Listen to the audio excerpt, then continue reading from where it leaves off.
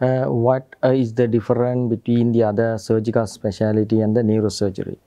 Neurosurgery is a spe- specialty with a dedicated uh, uh, specific management plan. We need a pre-op planning and per-operative techniques and post-operative management.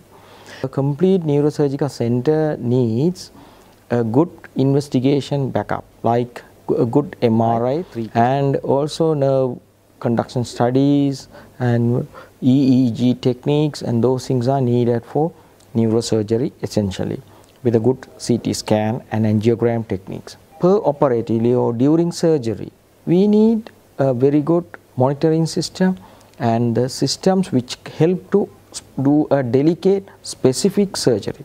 That means in instruments like microscope, neuro navigation and nerve monitoring, endoscopes all help us to do a specific target delicately, carefully and it allow us to do a specific job.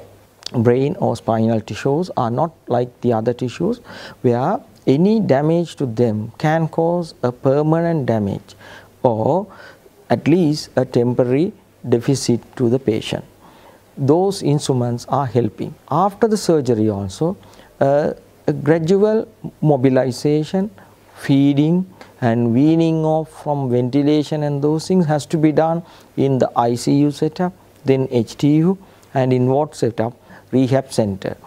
So when a patient come to a center where all these facilities are there and they will be warranted, they will be have a good recovery.